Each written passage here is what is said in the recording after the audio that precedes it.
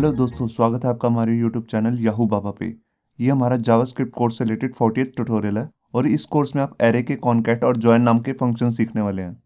यहाँ पर देखिए, जैसे हमारे पास एक एरे है ए नाम का वेरिएबल है, जो उसमें हमने एक एरे बना रखा है और उसमें तीन नेम दे रखे हैं। यहाँ पे आपको दिख रहे हैं संजय, अमन और रहमान। और आपके पास एक दूसरा वेरिएबल बी है, वो भी एक एरे ही है और उसमें दो नेम और आ रहे हैं, करण और राहुल। अब आप चाहते हैं कि इन दोनों को जोड़ दिया जाए और एक एरे बना दिया जाए, या आप कह सकते हैं इन दोनों को मर्ज कर दिया जाए। तो इस मर्ज की ऑप्शन के लिए हमारे पास यहाँ पे एरे में एक फ़ंक्शन आता है, जिसका नाम है कॉनकैट कॉनकैट का मतलब होता है कॉन्कैटिनेशन कॉन्कैटिनेशन मतलब जोड़ना दो स्ट्रिंग्स को या दो एरेस को।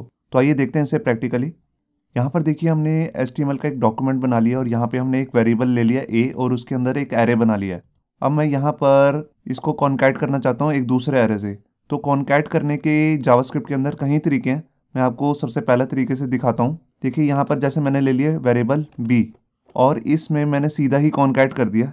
ए डॉट कॉन्कैट मतलब कि ए जो है हमारा एरे है, उसका कॉन्कैट फ़ंक्शन यूज़ करे और उसमें यहीं पर दो वैल्यूज़ डाल देते हैं।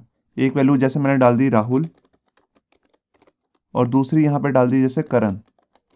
यहाँ पे दो नेम ले लिए मैंने, राहुल और करण। अब मैंने यहाँ पर इसको प्रिंट करके दिखाता हूँ वेरिएबल बी को।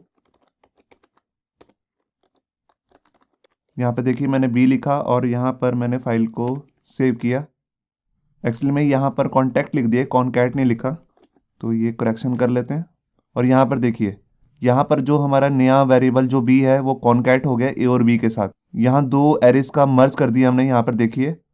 यहाँ पर पहले एरे यहाँ तक था और दूसरा एरे जो हमने यहाँ पर बनाया बी तो ये दोनों, अब ये टोटल जो है, ये एरे ये बी की वैल्यू है।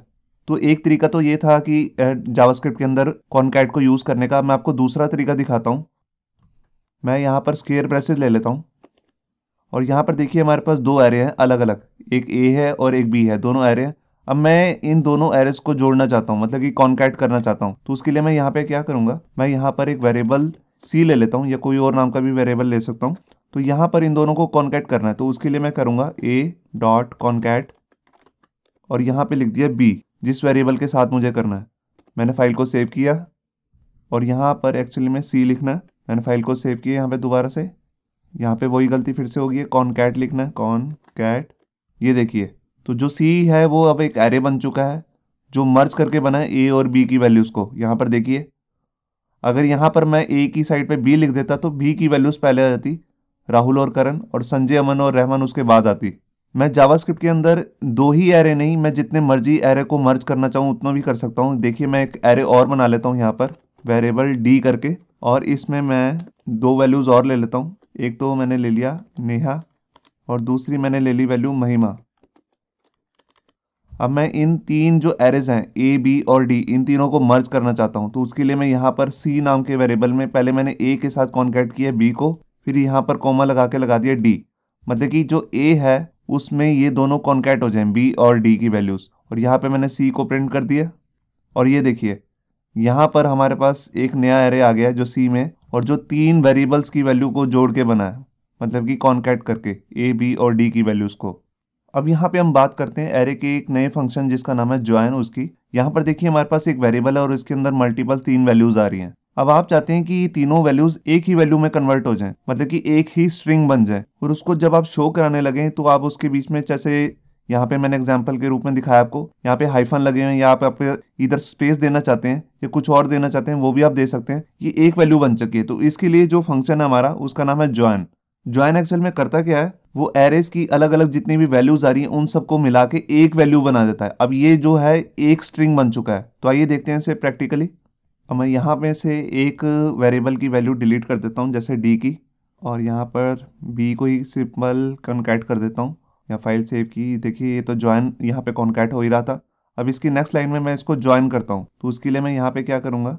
मैं एक वेरिएबल ले लेता हूँ, जैसे डी उसके अंदर मैंने सी डॉट ज्वाइन लिखा, और इसमें यहाँ पर मैंने यहाँ पर जैसे डबल कोट्स लगा के इसमें स्पेस दे दी।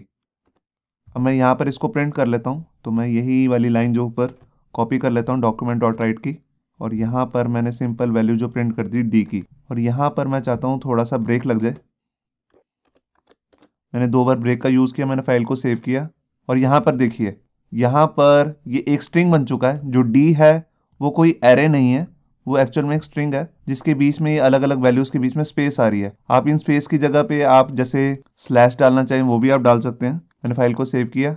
और ये देखिए, यहाँ पर स्लैश आ गए हैं। आपको दिख रहे होंगे यहाँ पे। अगर मैं यहाँ पर कोई और साइन डालना चाहूँ, वो भी मैं डाल सकता हूँ। जैसे मैं हाइफन वगैरह यूज़ करना चाहूँ। ये देखिए हाइफन आ गया। मैं डॉलर लगाना चाहूँ डॉलर भी लगा सकता हूँ। ये देखिए। तो ये एक स्ट्रिंग वैल्यू है। मैं यहाँ पर ब्रेक भी लगा सकता हूँ। मैंने फ़ाइल को सेव किया और ये देखिए ब्रेक करके ये सारा एक एक लाइन में आ गया। मगर ये सारी एक ही वैल्यू है, ना कि अलग अलग वैल्यूज़ हैं। क्योंकि डी जो है इस समय एक स्ट्रिंग बन चुका है। पिछले वीडियो ट्यूटोरियल में आपने ये एरे के कुछ मेथड्स किए थे, इसमें आपने कॉन्कैट और ज्वाइन किया है। अगली वीडियो में हम स्लाइस और स्प्लाइस कवर करने वाले हैं तो उस वीडियो को देखना मत भूलिए। होप सो आपको ये हमारा वीडियो ट्यूटोरियल अच्छा लगा होगा। अगर अच्छा लगा है तो वीडियो को प्लीज़ लाइक करना मत भूलिए। अगर आप ऐसे ही रेगुलर अपडेट चाहते हैं तो हमारे चैनल याहू बाबा को सब्सक्राइब करना मत भूलिए। Thank you